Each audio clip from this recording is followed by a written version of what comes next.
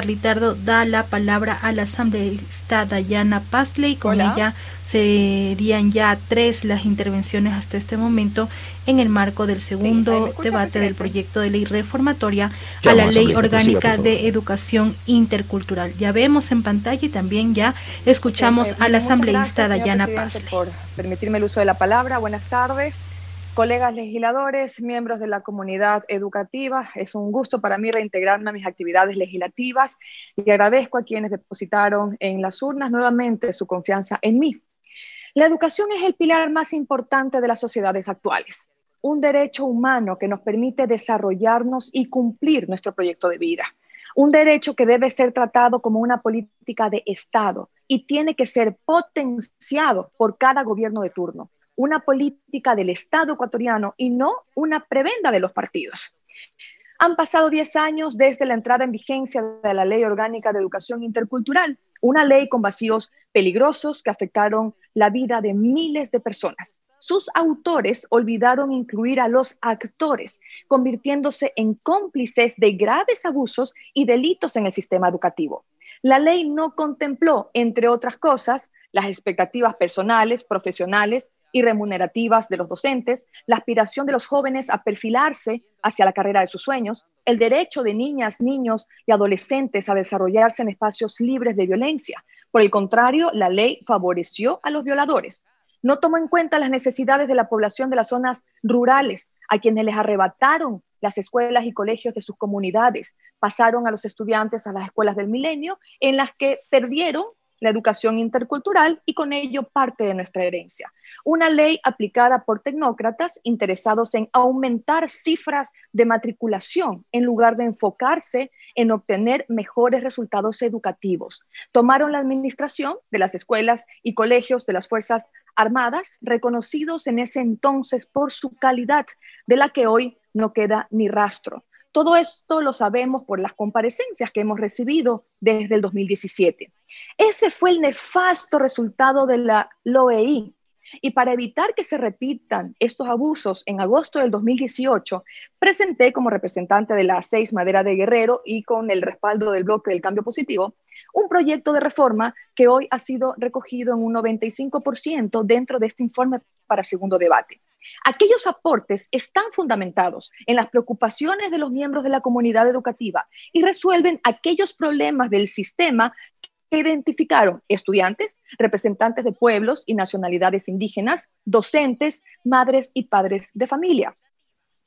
Lo señaló Yajaira Novoa del Colegio Ibarra, quien compareció a nombre de sus compañeros ante la Comisión de Educación en noviembre de 2018 y ella nos dijo, abro comillas, el bachillerato general unificado nos enseña de todo, pero no desarrolla nuestras habilidades en el área de nuestra preferencia. Cierro comillas. Para Yajaira y todos los estudiantes que han sentido lo mismo, esta nueva LOEI reconoce menciones especializadas de bachillerato, dejando atrás la estandarización que los aleja de la carrera de sus sueños.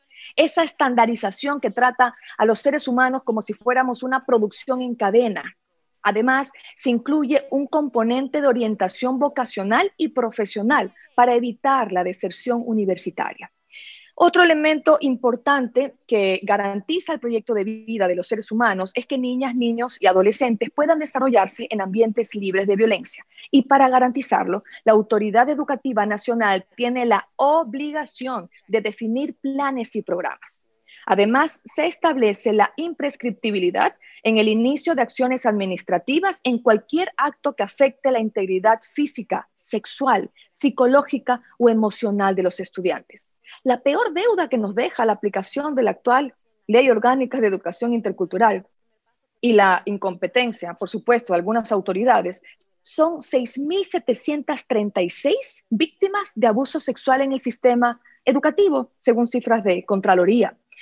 También, como ya lo mencionaron algunos colegas, eh, incorporamos las recomendaciones hechas por los organismos internacionales y la sentencia de la Corte Interamericana de Derechos Humanos. En el caso Paola Guzmán, para quienes no estén al tanto, una adolescente de 16 años que fue abusada sexualmente durante dos años por el vicerrector de su colegio de 65 años de edad y producto de estas violaciones, pues quedó embarazada. El vicerrector la mandó a practicarse un aborto con el médico del colegio, quien le pidió sexo a cambio. Paola fue destruida psicológicamente por estos monstruos y se suicidó ingiriendo 11 diablillos. Paola fue víctima de un sistema incapaz de protegerla, ni de castigar a los criminales. Luego de 18 años de lucha, su madre, la señora Petita Albarracín, consigue una sentencia histórica que señala al Ecuador, al Estado ecuatoriano, como culpable por la violencia sexual sistemática sufrida por su hija. Años después, sin embargo, los depredadores sexuales siguieron entrando a las escuelas y colegios. ¿Cómo olvidar el caso del principito de la Condamine o los 43 niños y niñas de Ampetra, las casi 100 víctimas de la Academia de Ballet, los 18 infantes del CEBI? Y la lista es larga. Por ello, para prevenir y eliminar todas las formas de violencia, abuso y negligencia, se establece el Plan Nacional para la Prevención, Atención, Exigibilidad, Reparación y Erradicación de la violencia en el contexto educativo. Este siendo uno de los vacíos más grandes del actual OEI y la mayor deuda que tenemos como país. Asimismo, en la nueva LOEI logramos que se transversalice en la malla curricular materias como cívica, ética y lógica. La educación, además de enfocarse en el aprendizaje de contenidos, tiene que desarrollar el pensamiento crítico para que los estudiantes, además de recibir información, puedan cuestionarla y sacar sus propias conclusiones, identificar y rechazar ideas y resolver problemas. La ética y la cívica, pues, para incentivar la convivencia pacífica en la sociedad, el respeto a los derechos humanos, a la diversidad, al planeta. Ahora nos damos cuenta de la importancia de la ética en la vida de las personas, en la vida de los funcionarios públicos. Este país necesita personas con ética que lideren los espacios de poder y de toma de decisiones, pues lo contrario lo vivimos hoy. Ahora, en noviembre de 2018 también recibimos a madres y padres de familia de estudiantes de establecimientos que eran administrados por las Fuerzas Armadas. Vinieron desde Jambelí, Machala, Guayaquil, Quito, Playas, La Tacunga, Tulcán, Loja, Coca, para exponernos los nefastos resultados de la administración del Ministerio de Educación. Sus hijos pasaron de tener una educación de alta calidad a estar por semanas e incluso meses sin profesores. Los laboratorios que con esfuerzo las familias equiparon al tomar las riendas del Ministerio de Educación en 2014, los desmantelaron. Hemos hecho el titánico, porque ha sido titánico el trabajo de reunir a representantes del Ministerio de Finanzas, del Ministerio de Defensa, del Ministerio de Educación, para analizar el retorno de los establecimientos educativos que históricamente pertenecieron a las Fuerzas Armadas y a la Policía Nacional al régimen fiscomisional con autonomía administrativa y financiera que además de aliviar al Ministerio de Educación de su sostenimiento, permitirá que se recupere esa calidad educativa basada en la identidad, en la filosofía, en los valores institucionales que contribuyen al desarrollo del país. Estas familias fundaron, construyeron y equiparon estas instituciones con la ilusión de que sus hijos puedan acceder a una educación de calidad y lo lograron. Absurdamente, ese esfuerzo se evaporó con la llegada de la revolución. Y han sido años de lucha de estas familias para que se les garantice el derecho a la educación que ellos eligieron para sus hijos. Es momento de reconocer que la transición fue un desacierto y que hoy tenemos la oportunidad de corregir. Gracias a general Osvaldo Jarrín y a la madre de familia Verónica Flores por comparecer hoy ante este pleno. Dentro del informe también se acoge nuestra propuesta de calendarización oportuna y digna para los docentes, para que puedan gozar de 30 días de vacaciones anuales ininterrumpidos, además de la inclusión de otras de sus peticiones históricas, como la nueva escala salarial, jubilación especial sin límite de edad, acceso de los docentes a programas de capacitación, profesionalización y actualización financiados por el Estado, como debe ser garantía del derecho a la seguridad social y jubilación de los educadores comunitarios y populares del Ecuador.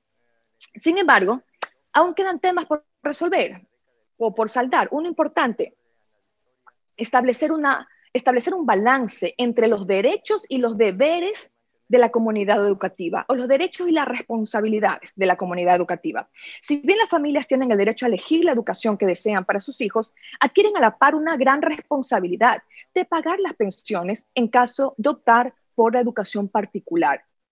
Como consecuencia de esa falta de equilibrio, antes de la emergencia, las escuelas particulares populares, es decir, aquellas que cobran menos de 30 dólares, y otros colegios con pensiones de hasta 150 dólares, tenían el 60% de la cartera vencida. Y este grupo, gran grupo, representa el 93% de la oferta académica particular y son fuente de empleo de 100.000 personas. Algunas ya han cerrado y otras van por ese camino. No se puede seguir legalizando la mora. La educación ha sido aún más desmantelada por un gobierno que le ha quitado presupuesto, que no ha garantizado la permanencia de los estudiantes en la modalidad en línea. La deserción escolar presenta números alarmantes, lo que conlleva mendicidad, trabajo infantil y hasta suicidio. El destino de la educación en este contexto también depende de integrar a la comunidad educativa dentro de las prioridades de vacunación para lograr el retorno a clases y evitar así que más niñas y niños se queden sin acceso a ella, sin acceso a este derecho humano. Es urgente entonces una estrategia del Ministerio de Educación para recuperar a quienes han desertado. Para finalizar, señor presidente y colegas legisladores, aprobar esta reforma permitirá hacer los ajustes urgentes que el Sistema Nacional de Educación requiere para apostar verdaderamente por el futuro del país y el presente de nuestras niñas, niños y adolescentes. Muchas gracias. Hemos escuchado ya a la asambleísta Dayana Pazley, asambleísta la asambleísta Israel Cruz. La asambleísta Dayana Pazley precisó que el informe recoge cerca del 90% de su propuesta de reforma a la Ley Orgánica de Educación Intercultural. Sostuvo que la nueva norma reconoce las... Eh,